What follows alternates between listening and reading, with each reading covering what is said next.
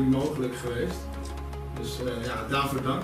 Roland, wat een mooie dag vandaag. Want ja, die hebben jullie echt maanden naartoe geleefd. De hele jeugd van Delisvaart is in het nieuw.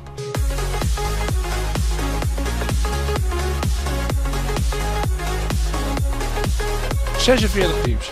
Ja, 46 teams, 600 jeugdleden, iedereen in, in mooi blauw, eh, strak voor elkaar. Nou ja, goed, en eh, ja, we zijn ontzettend trots eh, op onze jeugd. Nou, en nu, eh, nu sinds vandaag heeft iedereen ook echt een mooi trainingspak. En we zijn ontzettend dankbaar eh, en we vinden het fantastisch dat het gelukt is. Nou, we hebben vanochtend eh, een sponsormoment gehad. Alle sponsoren bij elkaar, een aantal teams op de foto. Nou, dat is fantastisch. Want Michel, want wie de jeugd heeft, heeft de toekomst. Absoluut, absoluut. En de jeugd is het allerbelangrijkste wat we hebben. Hè, dus, eh, en wat je gewoon ziet, hè, vanuit het verleden wordt er, werd er eigenlijk vaak gesponsord op prestatieteams.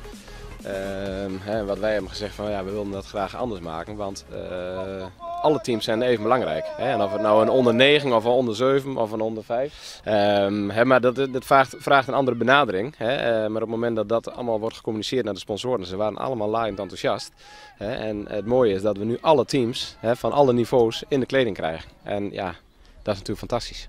Daar zijn we heel blij mee en trots op. Roland, jullie hebben nog hele mooie activiteiten in het zwart. Ja, dat, klopt. We hebben straks eh, in het voorjaar, eh, we organiseren voor de tweede keer een, eh, een pannenveldloop. Pannenveldloop met hindernissen. Sjouw over picknicktafels, door slurven heen, onder netten door. Ja, dat is fantastisch.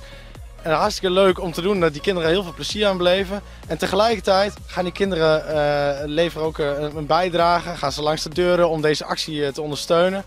Ja, uiteindelijk het doel is het realiseren van een pannenveld met kunstgras. Nou, we hebben het nu het eerste jaar gehad, een netto opbrengst van 3500 euro. En eh, nou, we willen dat natuurlijk uitbouwen en dan over een aantal jaren het kunnen realiseren. Mooi om te horen, eh, Roland. Maar Michel, er zit nog meer in het zwart. Ja, we zijn denk ik eh, met leuke dingen binnen, bezig binnen, eh, binnen JVC. Hè. Er wordt eh, veel gecommuniceerd, eh, veel meer dan wat we deden tot nu toe. Eh, en we willen graag positief communiceren. Hè. Dus niet alleen maar van eh, jongens, eh, we hebben een wedstrijd gewonnen of verloren. Hè. maar we zijn ook bezig met een communicatiegroep samenstellen. Hè, die artikelen gaan schrijven over het voetbal voor de jeugd, voor de ouders. Hè, om een positieve sfeer om het jeugdvoetbal heen te creëren. Hè. Dus niet alleen maar kijken naar van hebben ze gewonnen, hebben ze verloren. Hè. Sowieso in het jongere jeugdvoetbal zie je ook die ontwikkeling bij de KNVB.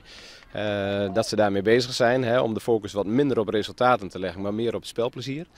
Ja, en dat is denk ik een ontzettend goede ontwikkeling. Er zijn meningen zijn erover verdeeld, hè, want voetbal is een heel traditionele sport. Maar eh, ja, wij zijn daar, als JVC zijn daar heel erg blij mee. Ja, maar je moet toekomstgericht denken. Ja, absoluut. En het gaat om de kinderen. En niet om wat de ouders. Kijk, de ouders die zijn vaak heel fanatiek en gedreven. En dat is heel goed. Dat ben ik zelf namelijk ook. Alleen, eh, kijk, de kinderen, als je ze ze op een goede manier begeleidt, dan uiteindelijk maakt het niet uit hoe ze van het veld afstappen. Al hebben ze 8-0 verloren. Als je positief communiceert met ze, dan zijn ze gewoon blij. En daar gaat het om. We zijn sporten, aan het sporten om gezond te zijn. En, en natuurlijk om plezier te beleven. En winnen is leuk, maar verliezen kan ook best leuk zijn. Het is zo, sport is plezier.